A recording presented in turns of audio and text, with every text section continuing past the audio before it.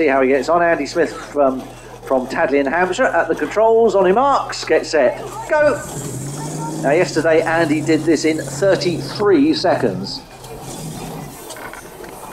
That little bit of rain we had earlier on has made the grass slightly uh, slippy, so mind how you go. He is into the first parking bay, skidding to a halt into reverse gear. Wheel spin as he heads off. Second parking bay completed, going back for the forward slalom. Taking a little bit too wide, I think.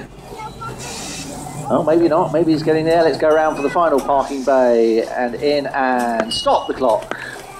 34 seconds. One second slower than yesterday, but a good turn of speed nonetheless.